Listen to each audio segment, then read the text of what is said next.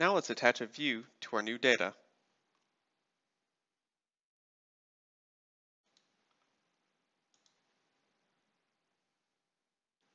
One popular view is the variable view. There will be one chart for each gene, and each sample's expression level is shown.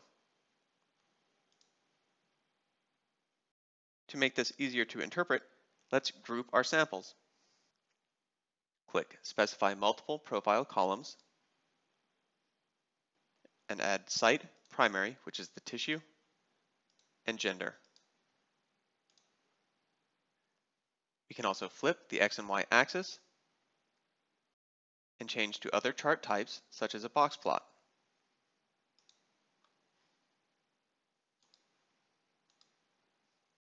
We can also change the box plot opacity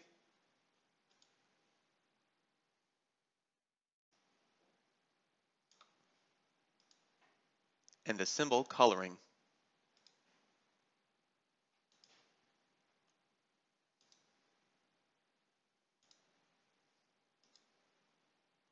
You have almost complete control over the display of the chart.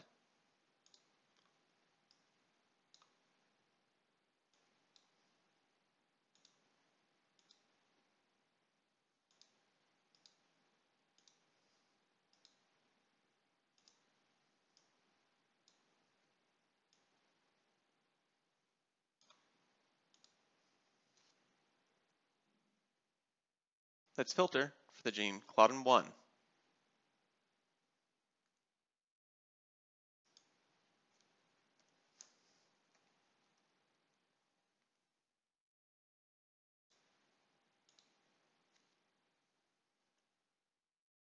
Now let's look at Claudin 18.